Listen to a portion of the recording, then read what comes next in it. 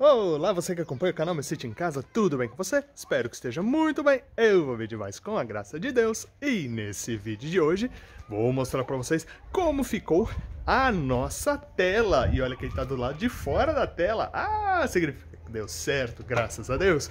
Mas antes, meus amigos e minhas amigas, peço a força de vocês aí para dar um gás no canal, se não são inscritos, inscrevam-se Ativem o sininho para receber sempre as notificações quando tiver vídeos novos aqui no YouTube. Deixem o like de vocês e utilizem bastante o campo dos comentários lá no final do vídeo. Mandem dúvidas, mandem sugestões, aí a gente vai interagindo ali e aí eu posso ir trazendo conteúdos cada vez mais bacanas para vocês. E sem mais delongas, então, bora pro vídeo.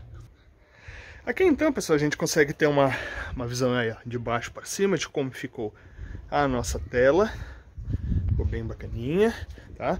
Aqui estão os nossos ripões.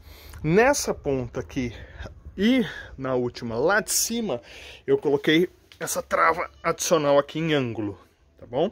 Porque ela vai ajudar a segurar a força que tanto a tela quanto este arame aqui, ó, eles estão fazendo para que essas madeiras elas não curvem para o centro e ela fique mole, ó, ela tá bem firminha, tá?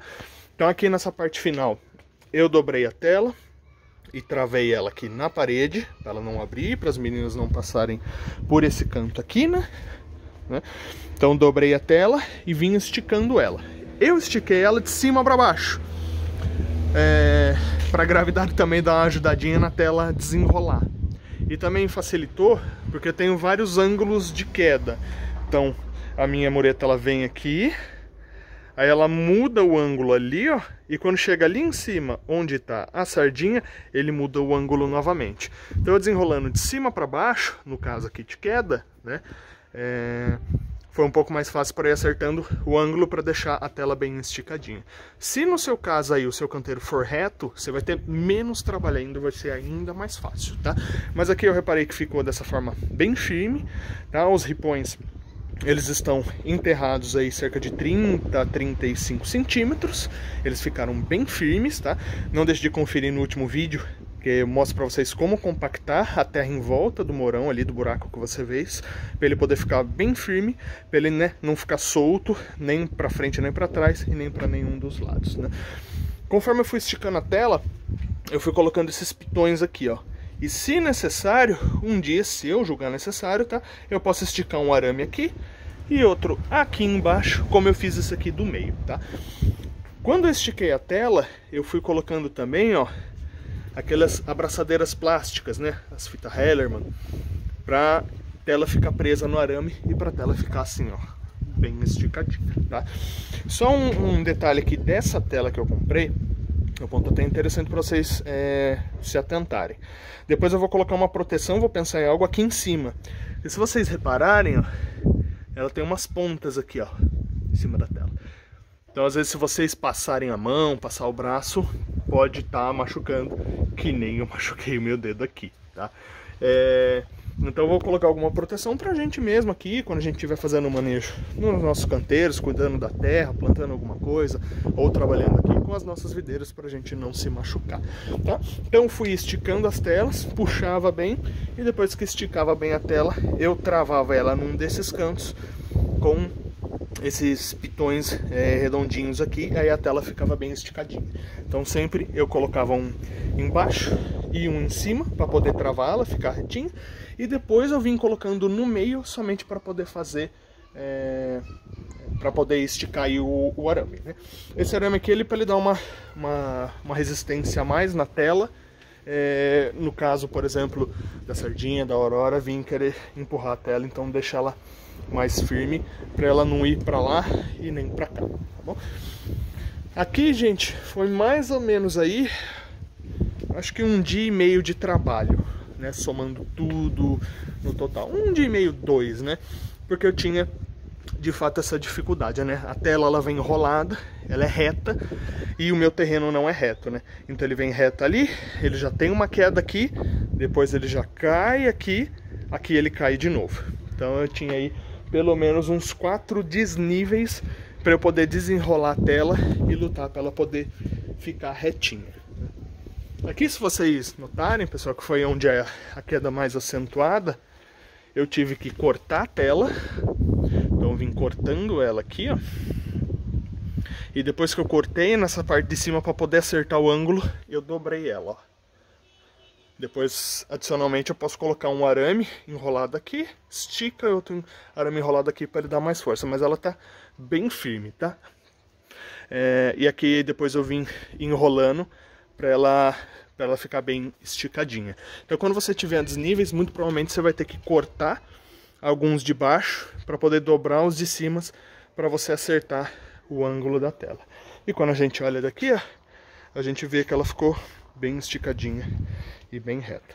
E em todos aí, é, como eu tenho 2 metros mais ou menos, entre um ripão e outro, a cada 50 centímetros eu fui colocando a abraçadeira no arame esticado para ele poder ficar a tela mais firme e mais esticadinha. Aqui em cima que eu tenho sistema de escoamento d'água aqui da nossa cobertura do carro, né? Eu abri um pouquinho o arame e aí eu passei o cano por dentro é, de um deles. É um cano de 50, é, o espaçamento aqui é de 5 por 5, então deu certinho aí. O arame do centro, o que, que eu fiz, pessoal? Eu coloquei aqui um pitão em L, e aí eu coloquei um esticador de cabo de aço.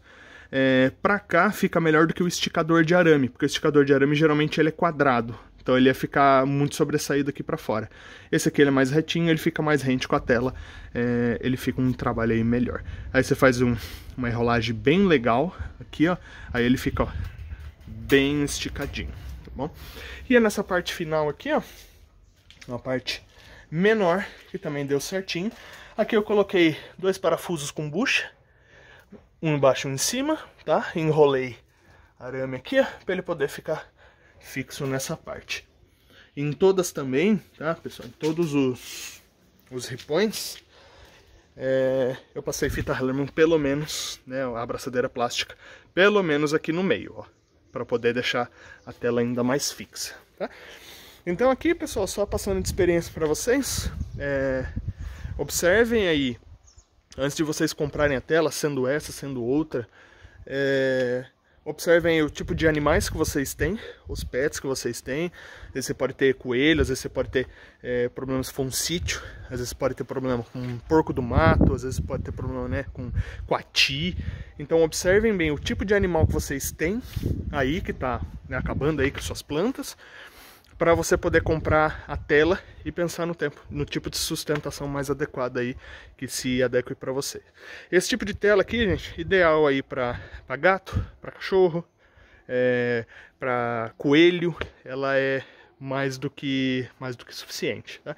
No caso aqui, a minha, como ela é mais alta, né, como eu tenho essa mureta, de uns 35 centímetros de altura, somado mais 50 centímetros da tela tem 85 centímetros de altura. Então não tenho problema de nenhuma das minhas meninas aqui, mesmo a Aurora, que ela é maior, de conseguir pular pro, pro lado de lá. Agora, se você tem assim animais de um porte um pouquinho maior, aí pense em um sistema de sustentação e uma tela também mais forte para você poder estar tá, é, não tendo problemas. Então ficou assim, gente, ficou bem legal, ficou bem satisfeito. Ah, não deixem de tratar madeiras, tudo bem? Ah, se você for colocar uma tela de um, de um metro e meio de altura, um metro e vinte, pode ser que você precise ou utilizar morões de cimento ou os de eucalipto tratado. Aí os de eucalipto tratado, principalmente, eles não têm é, problemas, que ele já recebe um tratamento, então ele já aguenta bastante. Se não, se você comprar uma madeira bruta, recomendo aí, super recomendo vocês fazendo tratamento com o óleo queimado, que vai ficar super bacana mesmo. Então, como comentei com vocês, depois só vou pensar em algo mesmo, tá, gente? É... Para poder estar tá fazendo a proteção aqui nessa parte de cima. É... Para a gente não estar tá passando o braço aqui eventualmente tá se machucando. Mas ficou muito bacana, gostei bastante do resultado. Inclusive até né, no, nos vídeos anteriores do canal a gente tinha aquelas telas aqui com uns pedaços de papelão protegendo aí a, as uvas, que acredito que não vai ser mais necessário. Já até as removi, mas não as joguei fora. Elas estão aqui dentro da obra. Ó, os papelões ali com os pedaços de, de tela. Ali a tela antiga, toda enroladinha. Depois eu vou tirar os bambus, esticar ela bonitinho. Porque tudo isso aqui, pessoal, até os bambus que estavam, ó, esses que ainda estão bons, a gente, tudo isso aqui é material que a gente pode estar tá reutilizando para outras finalidades, tá bom? Então, nada se perde, tudo se transforma. Espero que vocês tenham curtido aí como ficou a nossa tela. Assim que eu trazer qualquer atualização sobre ela, eu trago aí mostrando em vídeo para vocês.